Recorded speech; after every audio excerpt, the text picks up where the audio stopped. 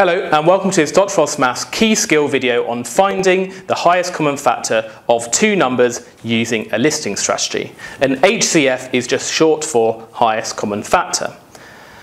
Now to understand what highest common factor means, let's reflect on each of these three words. Let's think about factor first. A factor is just a number that goes into another that could be divided into it. So if we were to ask for the factors of 10, we want numbers that go into 10. So 1 is a factor of 10 because you can divide 10 by 1 without remainder. 2 is a factor of 10. 5 is a factor of 10. And 10 is a factor of 10. You can divide any number by itself. What about the factors of 15? So if we list out those, well, 1 is a factor of 15. 1 is a factor of every number uh, you can't divide 15 by 2. You can divide it by 3. Uh, you can divide it by 5. And you can divide it by itself. So these are the factors of 10. These are the factors of 15. Now, if we want a common factor of 10 and 15, it means we need to find a factor which is common to both lists. That is, in both lists.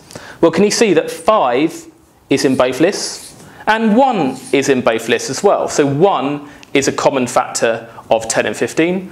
And so is 5. 5 is also a common factor of 10 and 15. Now we want the highest of those common factors because 1 is not going to be an interesting common factor because any two whole numbers you think of are always going to have a common factor of 1. So we want this highest common factor here, which is 5. So the highest common factor is 5. That's the answer for this first question. So the strategy here is just to list the factors of both numbers and then just find the highest number which is common to both of those lists of factors. So let's do that for this second question here. We want the factors of 60. Well, let's do the factors in pairs. So 1 times 60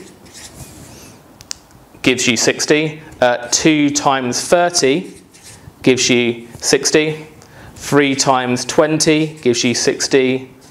4 times 15 gives you 60. 5 times 12 gives you 60, and then I've run out of space stupidly, and then you finally got 6 and 10 give you 60 as well. So they're all the factors of 60, there's quite a lot. And then what about 84? Well, 1 and 84 times to give 84.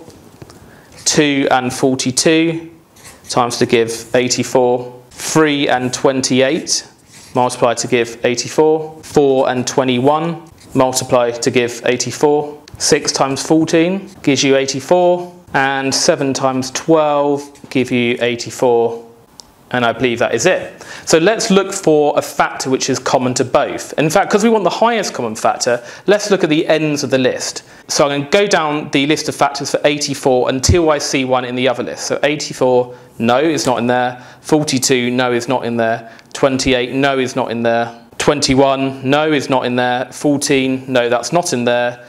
12, yes, it is in there. We can see that 12 is in both lists, so therefore the highest common factor is 12.